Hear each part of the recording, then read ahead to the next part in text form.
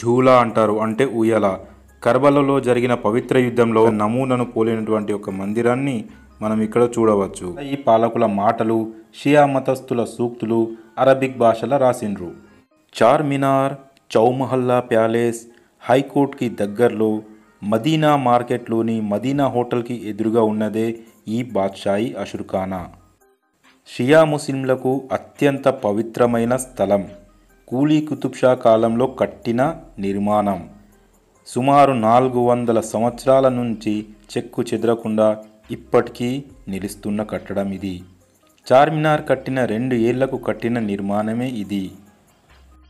చార్మినార్ని Hijri calendar ప్రకారం ఒక వంద ఒక సంవత్సరం అంటే పదిహేను వందల తొంభై రెండులో కట్టారు. ఆ నిర్మాణం కట్టిన తర్వాత హిజ్రీ క్యాలెండర్ ప్రకారం ఒక వంద ఐదు సంవత్సరం అంటే పదిహేను వందల తొంభై ఐదుల ఈ నిర్మాణం పూర్తయింది. ఆ రోజుల్లోనే ఈ నిర్మాణానికి అరవై వేల రూపాయలు ఖర్చు చేశారు. ముహమ్మద్ ప్రవక్త సల్లల్లాహులై వసల్లం యొక్క మనవడే ఇమాం రజియల్లా తాలా అన్హు. కర్బలాలో జరిగిన పవిత్ర యుద్ధంలా ఇస్లాం కోసం ప్రాణాలు వదులుతాడు. ఈయనతో పాటు ఇతని కుటుంబం మొత్తం ఇస్లాంను రక్షించడానికే కృషి చేసింది. ఆ యుద్ధంలో చనిపోయిన వారికి సంతాపం తెలపడానికే ఈ అషురుఖానా కట్టిండ్రు. బాద్షాలు కట్టిండ్రు కాబట్టి బాద్షాయి అషురుఖానా అని పేరు వచ్చింది. దీని ముందు ఉన్న ఈ హాలు ఎనిమిది పిల్లలతో రెండవ నిజం కట్టించిండు. మొత్తం చెక్క నిర్మాణమే. ఈ పిల్లర్లు మొత్తం ఒక్కో పిల్లర్ ఒక్కో చెట్టు నుండి వచ్చింది. అంటే ఒక చెట్టు నుంచి ఒక పిల్లర్ని తీసుకొచ్చి ఇక్కడ పెట్టారు. ఫ్రెండ్స్ మీకు ఈ వీడియో నచ్చితే లైక్ చేయండి మరియు మా ఛానల్ని సబ్స్క్రైబ్ చేసుకోండి. మీకు మరిన్ని పురాతనమైన కట్టడాలు మరియు చారిత్రకమైన కట్టడాల దగ్గరికి తీసుకెళ్తూ వివరించడం జరుగుతుంది. ఇక్కడ పెట్టడానికి కుతుబ్షాహీ పీరియాడ్ల పద్నాలుగు ఆలంలను బంగారంతో చేసి మధ్యల వజ్రాలు పొదిగిండ్రు. మొహరం పండుగ రోజు ఇక్కడ ఆలంలను ఏర్పాటు చేస్తారు.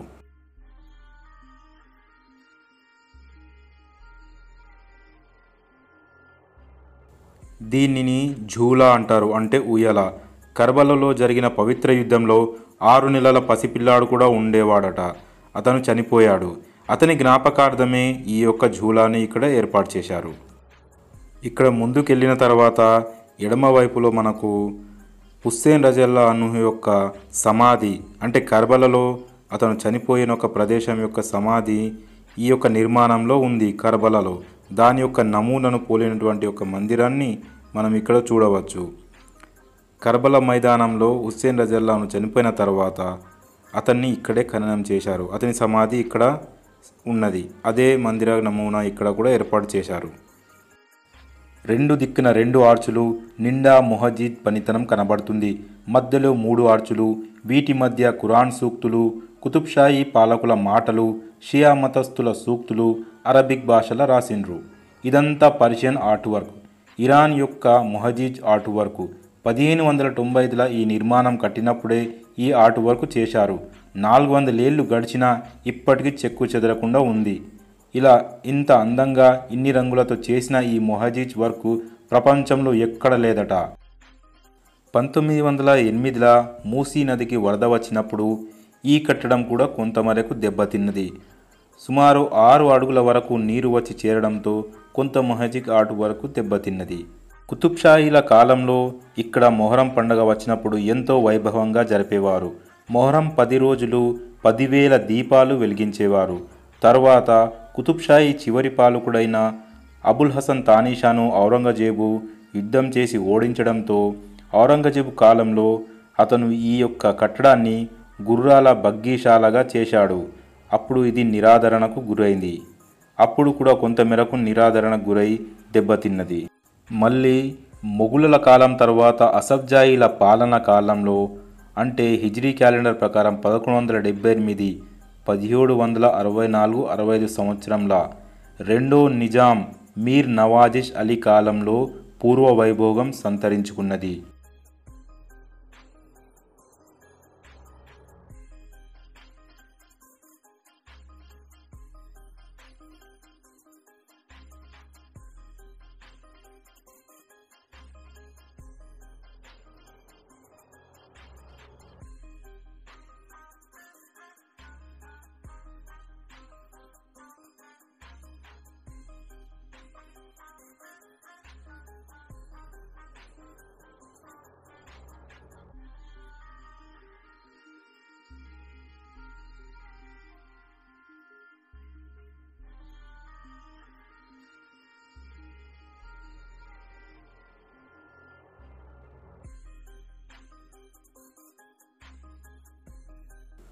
ముందువైపు నగారఖానా మరోవైపు న్యాస్ఖానా తర్వాత అబ్దర్ ఖానా అంటే భక్తుల కోసం ఈ యొక్క అలావా చబుత్రా కనిపిస్తాయి.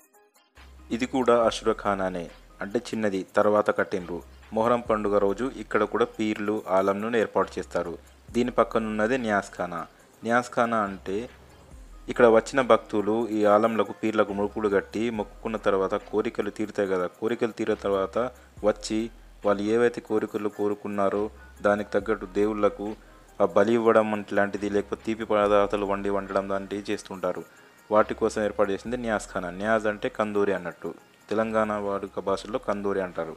అలా దీని తర్వాత వచ్చేదే సరాయిఖానా భక్తులకు వచ్చిన దూర ప్రాంతం నుంచి వచ్చిన భక్తులను అక్కడ విశ్రాంతి తీసుకోవడానికి కట్టింది ఆ తర్వాత వచ్చిందే నగారాఖానా. దీని ముందరనే ఉంటుంది నగారాఖానా.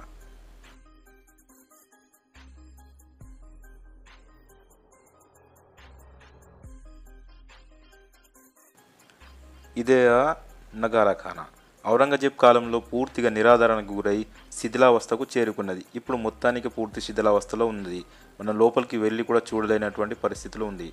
ఔరంగజేబు తన యొక్క కాలంలో ఈ మొత్తం ప్రాంతాన్నే నిరాధనకు గురి చేశాడు. అతడు అతను మొహరం పండుగనే జరుపుకునేవాడు కాదు.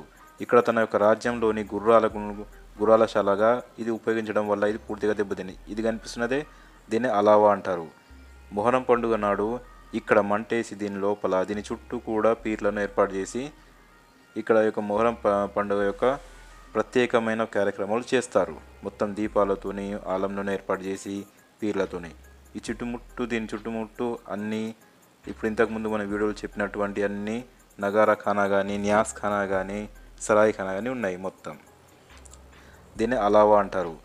మొహరం పండుగ నాడు ఇక్కడ మంటేసి దీని లోపల దీని చుట్టూ కూడా పీర్లను ఏర్పాటు చేసి ఇక్కడ యొక్క మొహరం పండుగ యొక్క ప్రత్యేకమైన కార్యక్రమాలు చేస్తారు. మొత్తం దీపాలతోని ఆలంను ఏర్పాటు చేసి పీర్లతోని. ఈ చుట్టుముట్టు దీని చుట్టుముట్టు అన్నీ ఇప్పుడు ఇంతకుముందు మన వీడియోలు చెప్పినటువంటి అన్ని నగారా ఖానా కానీ న్యాస్ ఖానా కానీ సరాయి ఖానా కానీ ఉన్నాయి మొత్తం. ఇంత అద్భుతమైన కట్టడం చార్మినార్ వచ్చిన వాళ్ళు ప్రతి ఒక్కరు చూడదగిన ప్రదేశం. కానీ ఇంత అద్భుతమైన కట్టడం దీని చుట్టూ బిల్డింగ్లు ఏర్పడడం వల్ల ఇది మరుగున పడిపోతుంది. తెలిస్తే కానీ లోపలికి వెళ్ళి చూడలేం మనం.